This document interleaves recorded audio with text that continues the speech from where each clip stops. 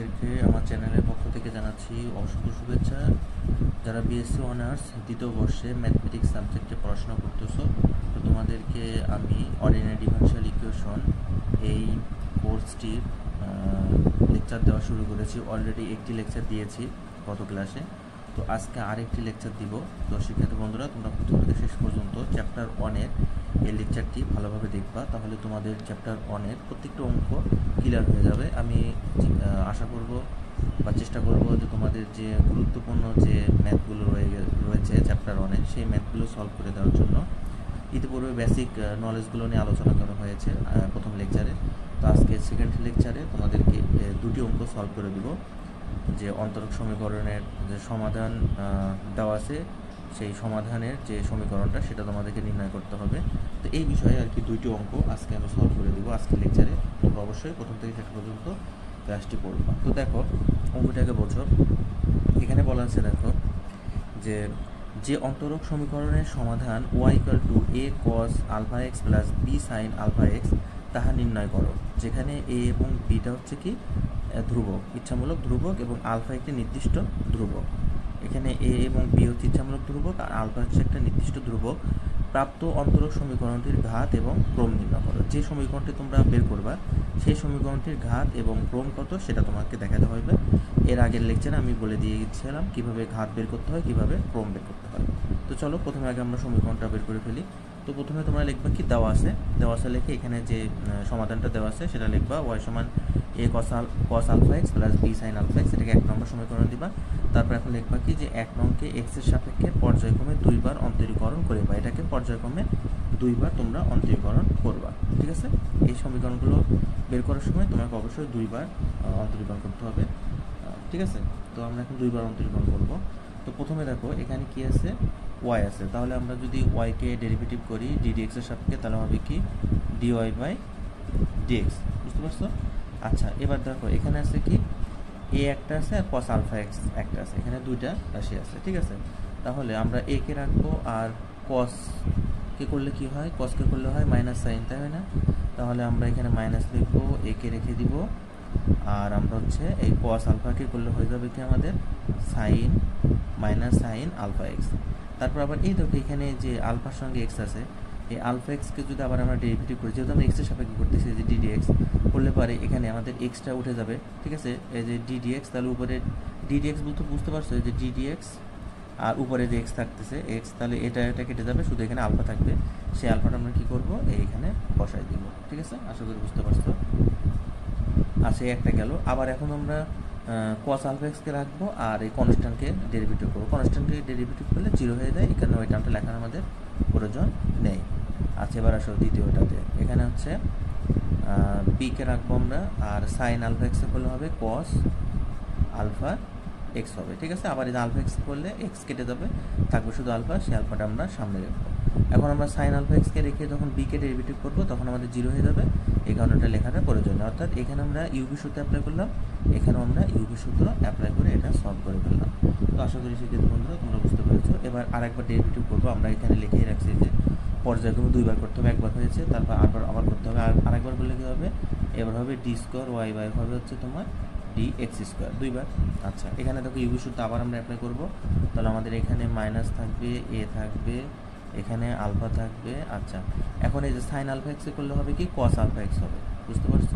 কস alpha x হবে, আবার এই আলফা এক্সে করলে এক্স কেটে যাবে, থাকবে শুধু আলফা তাহলে ওই আলফা এখানে আমরা গুণ করে দিলাম, হয়ে গেল কি আমাদের আলফা স্কোয়ার এখন আমরা আবার যদি সাইন আলফা এক্সকে রেখে দিয়ে এই মাইনাস এ আলফাকে ডেরিভেটিভ করি, তাহলে জিরো হয়ে যাবে ওটা আমাদের লেখার প্রয়োজন নেই। এখন চলে আসে এখানে। এখানে আমরা মনে করো এই যে এই বি আলফাকে রেখে দিলাম, আর কস আলফা এক্সকে ডেরিভেটিভ করলে কী হয়? মাইনাস সাইন আলফা এই যে মাইনাস লিখলাম আর এখানে লিখব আমরা সাইন আলফা এক্স। এখন আবার আলফা এক্স যখন করব, এক্স আমাদের উঠে যাবে, থাকবে শুধু কি আলফা। তাহলে ওই আলফা আলফা গুণ করে দিলাম, আলফা স্কোয়ার হয়ে গেল। এখন আমরা কস আলফা এক্সকে রেখে দিয়ে যদি বি আলফাকে ডেরিভেটিভ করি, তাহলে কনস্ট্যান্টকে ডেরিভেটিভ করলে শূন্য হয়ে যায়। ওই টার্মটা আমাদের লেখা প্রয়োজন নেই, বুঝতে পারছ? এখানেও আমরা ইউবি সূত্র অ্যাপ্লাই করলাম, এখানেও ইউবি সূত্র অ্যাপ্লাই করলাম। এখান থেকে দেখো এখন কমন যাচ্ছে কি? আলফা স্কোয়ার কমন যাচ্ছে। তাহলে আমরা এখন আলফা স্কোয়ারটা কমন নিয়ে আসব ঠিক আছে? বাম দিকে হবে আমাদের D square Y by D X square আর এখান থেকে আমরা কমন নেব কি? মাইনাস আলফা স্কোয়ার আমরা কমন নেব। তাহলে আমাদের এখানে থাকতেছে এ কস আলফা এক্স আর মাইনাসে মাইনাসে প্লাস হয়ে গেল। আর আলফা স্কোয়ার তো কমনই নিয়ে ফেললাম। তাহলে এখানে থাকবে বি সাইন আলফা এক্স ঠিক আছে? আশা করি তোমরা বুঝতে পারছ। তাহলে বাম দিকে এখন আমরা লিখব D square Y by D X square এখানে মাইনাস আলফা স্কোয়ার হবে। আর দেখো তো A cos alpha X plus B sine alpha এক্সের মান কত? এক নম্বর সমীকরণে মান ওয়াই না। তাহলে এখানে আমরা কি করব? ওয়াই লিখে দিব আর এখানে লিখব কি যে এক নং হতে পাই। আশা করি তোমরা বুঝতে পেরেছ এই পর্যন্ত। আচ্ছা দেখো এবার শিক্ষার্থী বন্ধুরা। তাহলে এখন আমরা করব কি? এই যে মাইনাস আলফা স্কোয়ার ওয়াইটা আছে এটাকে আমরা বাম দিকে নিয়ে আসব। তাহলে আমাদের D square Y by D X square আর এখানে মাইনাস আছে, এদিকে আসলে কি হবে? প্লাস হবে। তাহলে প্লাস আলফা স্কোয়ার ওয়াই সমান হচ্ছে জিরো। এটা কি? নির্ণয়। এটা হচ্ছে কি? এটি এটি নির্ণয় অন্তরক সমীকরণ। ঠিক আছে? তাহলে আমাদের সমীকরণ কিন্তু তৈরি হয়ে গিয়েছে। আশা করি তোমরা বুঝতে পারছ। বুঝতে অসুবিধা হলে অবশ্যই কমেন্টে জানাবে। এখন আরেকটা জিনিস আছে। এখানে বলা আছে প্রশ্নে দেখো যে প্রাপ্ত অন্তরক সমীকরণটির ঘাত এবং ক্রম কত? এটার ঘাত কত এবং ক্রম কত? আচ্ছা দেখো তো এটার ক্রম কত হবে? এটার ক্রম দুই হবে না? দেখো যে সর্বোচ্চ যে ডি স্কোয়ার হবে ডি এক্স স্কোয়ার দুইবার ডেরিভেটিভ করা হয়েছে। তাহলে এটার ক্রম কত হবে? তাহলে এখানে লেখো যে এখানে এখানে অন্তরক অন্তরক সমীকরণটির ক্রম কত? ক্রম হচ্ছে ক্রম হচ্ছে কত? দুই, এবং ঘাত কত? এবং ঘাত বা মাত্রা হচ্ছে কত? এক। আচ্ছা এক কেন হলো? দেখো এই যে এটা এর উপরে কত আছে? এর উপরে এক আছে না? সর্বোচ্চ পাওয়ার এক আছে। এটা ডেরিভেটিভ দুইবার করা হয়েছে। ডেরিভেটিভ দুইবার করলে সেটা হচ্ছে তোমার ক্রোম। আর এই ক্রোমের উপরে যে পাওয়ারটা আছে, সেটাকে বলা হয় ঘাত বা মাত্রা। যেহেতু এটা, এটার ঘাত বা মাত্রা এক। এরপর কিছু নাই, তার মানে এক। তাহলে এটার ঘাত কত হবে? ঘাত বা মাত্রা হবে কত? এক। তো আশা করি তোমরা বুঝতে পারছ। শিক্ষার্থী বন্ধুরা, দেখো, এখন তোমাদেরকে আমি আরেকটি অঙ্ক সলভ করে দেবো। যে নিয়মের একটি অঙ্ক সলভ করলাম, এই নিয়মেরই আরেকটি অঙ্ক। দেখো, যে অন্তরক সমীকরণের সমাধান ওয়াই সমান E to the power X A cos X plus B sine X তাহা নির্ণয় করো। এখানে শুধু, এই সমাধানের যে সমীকরণটা, সেটা নির্ণয় করলে হবে। এখানে ক্রম বা মাত্রা বের করতে বলে নাই।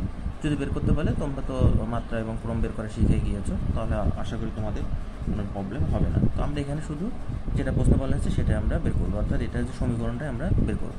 তো এখানে দেখো, দেওয়া আছে ওয়াই সমান ই টু দি পাওয়ার এক্স তারপরে A cos X plus B sine X এটাকে এক নম্বর সমীকরণ দিলাম। এখন আমরা লিখলাম যে এক নংকে এক্সের সাপেক্ষে পর্যায়ক্রমে দুইবার অন্তরীকরণ করে পাই। এখানে আমরা দুইবার অন্তরীকরণ করব পর্যায়ক্রমে। আচ্ছা তাহলে দেখো, আমাদের এখানে আছে ওয়াই আমরা ডিডিএক্স অপারেটর আমাদের, তাহলে হবে কি D Y by D X equal to এখানে ইউভি সূত্র অ্যাপ্লাই করব। ই টু দি এটাকে ইউ ধরবো? এটাকে ভি ধরবো, ঠিক আছে? প্রথমে আমরা ইউকে রেখে দিব, আর এবার ভিকে রেখে করব। ভি এর মধ্যে দেখো কি আছে? এ তো কনস্ট্যান্ট একে রেখে দিলাম, আর কস সেটাকে ডেরিভেটিভ করলে হয় মাইনাস সাইন এক্স তাহলে এখানে মাইনাসটা সামনে দিব, আর এখানে আমরা লিখব হচ্ছে সাইন এক্স তারপর আবার যদি এবার আমরা কসকে রেখে একে ডেরিভেটিভ করি, তাহলে জিরো হয়ে যাবে। এই জন্য ওই টার্মটা আমাদের দরকার নেই, আমরা চলে যাব এখন এটাতে। তো দেখো এখানে হচ্ছে প্লাস আচ্ছা বি লিখলাম। বিকে রেখে আমরা সাইন এক্সকে ডেরিভেটিভ করলে হবে আমাদের কি? কস এক্স তাহলে এখানে আমরা কস এক্স লিখে ফেললাম, ঠিক আছে? আর সাইন এক্সকে রেখে যদি বিকে এবার ডেরিভেটিভ করি, তাহলে জিরো হয়ে যাবে। ওইটা আমাদের লেখার দরকার নেই, বুঝতে পারছ? ঠিক আছে? আচ্ছা এবার চলে আসো প্লাস দিয়ে। এবার আমরা হচ্ছে কি করব? A cos X plus B sine X অর্থাৎ এটা তো ভি ধরেছিলাম, এবার ভিকে রাখব আর ইউকে এবার ডেরিভেটিভ করব। তাহলে এটাকে রেখে যদি আমরা ই টু এক্সকে ডেরিভেটিভ করি তাহলে ই টু দি পার এক্সকে ডেরিভেটিভ করলে ই টু দি পাওয়ার এক্সই হয়। তাহলে এখানে ই টু দি পাওয়ার এক্সই হবে, আর এটা তো রেখে দিতে হবে। তাহলে এখানে হবে হচ্ছে এ কস এক্স প্লাস হচ্ছে বি সাইন এক্স ঠিক আছে? এটা হয়ে গেল। তো এখন আমরা এদিকে বাম দিকে লিখি d y by d x equal to আচ্ছা ইকাল টু এখন দেখো ই টু দি পাওয়ার এক্স লিখলাম। এখানে যেটা আছে সেটা লিখে দাও minus a sine x plus হচ্ছে কি বি কস এক্স এটা লিখে দিলাম। আচ্ছা দেখো তো e to the power x a cos x plus b sine এক্সের মান, দেখো তো, এক নম্বর সমীকরণে কত আছে? ওয়াই আছে। তাহলে এখানে আমরা এটার মানটা এখানে বসাই দিব ওয়াই ঠিক আছে? বসাই দিয়ে এটাকে আমরা নাম দিব দুই নম্বর সমীকরণ। আর সাইন ওয়ার্ডে লিখব কি? যে এক নং হতে পাই আশা করি বুঝতে পারছ? এক নং হতে পাই ঠিক আছে? তাহলে এই পর্যন্ত আমাদের হয়ে গেল, দেখো। এখন আমরা কি করব বলো তো? এই অঙ্কগুলো আমরা লিখছি, দেখো তো এখানে কি? পর্যায়ক্রমে দুইবার অন্তরীকরণ করে। তাহলে এটাকে আবার আমাদের অন্তরীকরণ করতে হবে। তাহলে এবার আমরা আবার অন্তরীকরণ করলে আমাদের এখানে এখানে হয়ে যাবে ডি স্কোয়ার ওয়াই বাই হচ্ছে ডি এক্স স্কোয়ার আচ্ছা এখানে দেখো তো আবার ইউ সূত্র আমাদের অ্যাপ্লাই করতে হবে। এটা কি ইউ ধরতে হবে? এটাকে ভি ধরতে হবে। তাহলে আমরা ই টু দি বার এক্সকে রাখলাম আর এই মাইনাস এ তো কনস্ট্যান্ট আচ্ছা তাহলে আমরা এখানে সাইন এক্সকে যখন ডেরিভেটিভ করব, হয়ে যাবে আমাদের কি? কস এক্স তাহলে মাইনাস এ থাকবে সাইন এক্স হয়ে যাবে হচ্ছে কস এক্স গেল একটা। আচ্ছা এবার আমরা আবার এটাকে করব। তাহলে এখানে দেখো বিকে রাখব আর কস এক্সে করলে হবে মাইনাস সাইন এক্স তাহলে প্লাস মাইনাস এখানে মাইনাস লিখব, এখানে বি লিখব আর এখানে লিখব হচ্ছে সাইন এক্স ঠিক আছে মাইনাস সাইন এক্স হয়ে গেল। আচ্ছা ঠিক আছে? আচ্ছা এবার প্লাস দাও প্লাস দিয়ে এবার ই টু টু এক্সকে এবার হচ্ছে তোমরা এটাকে রেখে দিবা। Minus a sine x plus cos b cos এক্সকে রেখে ই টু টু এক্সকে করবা। ই টু টু এক্সকে করলে কি হয়? ই টু টু এক্সই হয়। তাহলে এটা যা আছে তাই থাকবে ই টু টু এক্স এখানে লিখবা minus a sine x plus হচ্ছে কি? বি কস এক্স আচ্ছা আর প্লাস এখানে দেখো, এই যে ওয়াইকেও ডেরিভেটিভ করতে হবে ডিডিএক্স এর সাপেক্ষে। তাহলে এটা হয়ে যাবে হচ্ছে ডিওয়াই বাই ডিএক্স যেহেতু আমাদের ওয়াই পক্ষে সবগুলোকেই ডেরিভেটিভ করা লাগবে। তাহলে ওয়াইকে তো রাখা যাচ্ছে না আলাদা। ওয়াইকে ডেরিভেটিভ করতে হবে ডিডিএক্স দিয়ে। তাহলে হয়ে যাবে কি ডিওয়াই বাই ডিএক্স যেহেতু আমরা এক্সের সাপেক্ষে করতেছি। তো আশা করি এ পর্যন্ত তোমরা বুঝতে পেরেছ। তো দেখো শিক্ষার্থী বন্ধু এখন আমরা কি করব? আচ্ছা মাইনাস আচ্ছা এখানে দেখো তো মাইনাস আছে না? এখানে মাইনাসটা আমরা কী করব? কমন নিয়ে নেব। তাহলে মাইনাসটা যদি কমন নিই, তাহলে মাইনাসটা বাইরে চলে আসলো। আর ই টু দি পাওয়ার এক্স তো বাইরে আসেই আর তাহলে এখানে হচ্ছে এ কস এক্স আর এই মাইনাস কমন নিয়ে নিলাম। তাহলে এটা কি হয়ে গেল? মাইনাস মাইনাসে প্লাস হয়ে গেল। তাহলে b plus b sine x. আশা করি এ পর্যন্ত বুঝতে পেরেছ। তারপরে এখানে যা আছে তাই লেখো। ই টু দি পাওয়ার এক্স তারপর হচ্ছে minus a sine x plus হচ্ছে কি? বি কস এক্স আর এখানে হচ্ছে plus d y by d x আশা করি শিক্ষিত বন্ধুরা, তোমরা এই পর্যন্ত বুঝতে পেরেছ। এখন দেখো। আচ্ছা বলো তো শিক্ষিত বন্ধুরা e to the power x a cos x plus b sine x এটা সমান কত? এই দেখো, এক নম্বর সমীকরণ আমরা বের করে রাখছি। এই দেখো ওয়াই সমান e to the power x into a cos x plus b sine x সমান হচ্ছে ওয়াই তাহলে আমরা এটার পরিবর্তে এখানে কি বসাই দিতে পারি? ওয়াই বসাই দিতে পারি, ঠিক আছে? আর সামনে মাইনাস আছে, এই জন্য আমরা এখানে কি লিখব? মাইনাস লিখব। তাহলে এখানে লিখব মাইনাস ওয়াই আচ্ছা এবার প্লাস এবার শিক্ষার্থী বন্ধুরা, তোমরা একটু খেয়াল করে দেখো। এই যেখানে দুই নম্বর সমীকরণে তোমরা কি বের করছ? D y by d x equal to e to the power y minus a sine x plus b cos x plus y আমরা যদি এই ওয়াইটাকে এদিকে নিয়ে আসি, তাহলে d y by d x minus y সমান, এটা হচ্ছে না, দেখো তো? তাহলে আমরা এখানে এই যে, এটাতে দেখো তো, এই যে মাইনাস এই যে minus A E to the power X তারপরে minus A sine X plus B cos X এটা সমান আমরা লিখতে পারি কি? D Y by D X minus Y এই মাইনাস ওয়াইটাকে ধরো এদিকে নিয়ে আসলাম, নিয়ে আসলে আমাদের কী থাকতেছে? E to the power x minus a sine x plus b cos x থাকতেছে না, দেখো তো। E to the x minus a sine x plus B cos X তাহলে এটার পরিবর্তে আমরা লিখতে পারি হচ্ছে এখানে এই যে d y by d x এই ওয়াইটাকে দিক নিয়ে আসলাম, তাহলে মাইনাস ওয়াই লিখতে পারি না? D y by d x minus y আমরা এটার পরিবর্তে লিখতে পারি। তাহলে এখানে আমরা লিখব হচ্ছে d y by d x minus এই যে ওয়াইটা এদিকে নিয়ে আসলাম, তাহলে মাইনাস ওয়াই তাহলে আমরা কী করলাম? এটার পরিবর্তে এটা লিখতে পারি। এই দেখো ওয়াইটা এদিক নিয়ে আসলে, তাহলে এটার পরিবর্তে এটা আমরা লিখতে পারতেছি। এটা লিখে দিলাম। আর আমাদের এখানে আরেকটা কী আছে? D y by d d x আছে। তো আমরা এখানে লিখে দিব কি? যে দুই নঙের সাহায্যে। দুই নঙের সাহায্যে আমরা এটা পেয়েছি। তাহলে দুই নঙের সাহায্যে আমরা এটা পেয়ে গেলাম। আচ্ছা তাহলে আমাদের দেখো তো বাম দিকে কী আছে? বাম দিকে d square y by d x square আছে। তাহলে আমরা এখানে বাম দিকে লিখব ডি স্কোয়ার ওয়াই বাই হচ্ছে ডি এক্স স্কোয়ার আচ্ছা এখন দেখো। এখানে দেখো তোমার মাইনাস টু ওয়াই হচ্ছে না? দেখো তো।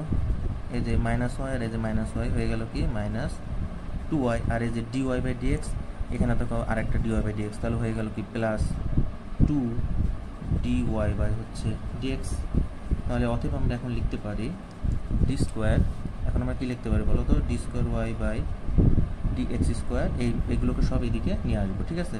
তাহলে এটা plus two d y by d x আছে, তাহলে এরকম এদিকে নিয়ে আসলে minus two d y by d x হবে, আর এই যে মাইনাস টু ওয়াই আছে, এটা যদি বাম দিকে নিয়ে আসি, তাহলে হবে হচ্ছে প্লাস টু ওয়াই সমান সমান জিরো এটা হচ্ছে কি নির্ণয় অন্তরক সমীকরণ, এটাই, এটি কি? এটি আমাদের হচ্ছে নির্ণয় অন্তরক সমীকরণ। আশা করি শিক্ষার্থী বন্ধুরা, তোমরা বুঝতে পারছ।